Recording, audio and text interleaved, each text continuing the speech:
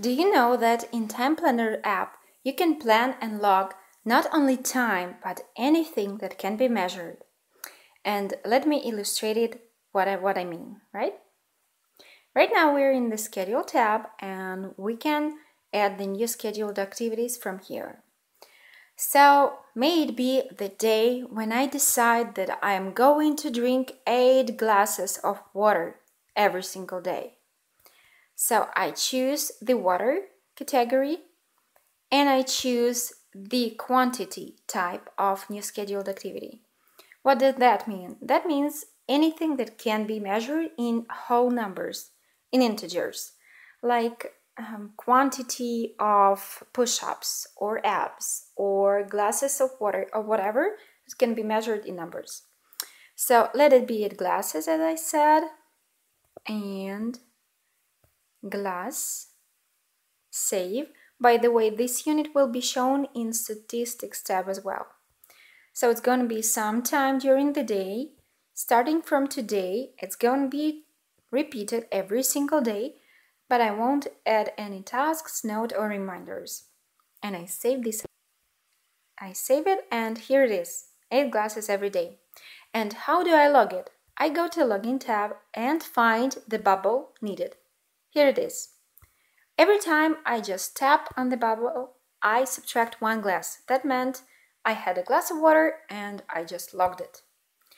And I see from here how many glasses I have left till I'm good for today. And also I can create the new scheduled activity right from here, from logging tab. So tap on plus again and choose scheduled activity and let it be that I'm going to have bicycle trip today um, like this. So I choose the category city trips and choose the type of scheduled activity called value. It's similar to quantity, but it may have fractional part. So it has integer part and fraction part. So let it be like 15 and a half kilometers for today see it's shown in suggestions now. And it also will be shown in stats. And it's going to be this evening all right? It's going to be today. It won't be repeated. And I won't add anything for this new scheduled activity but just will save it. Here it is. Here is the bubble with this activity. And similar to the quantity each time I tap on this bubble single tap I subtract one unit.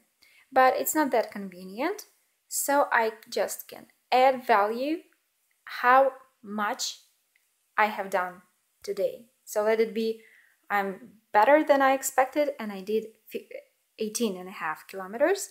So I see I have plus 4 kilometers for today. And also, if I long press and reset logged, I can actually change this. Alright, have great time planning and implementing as well.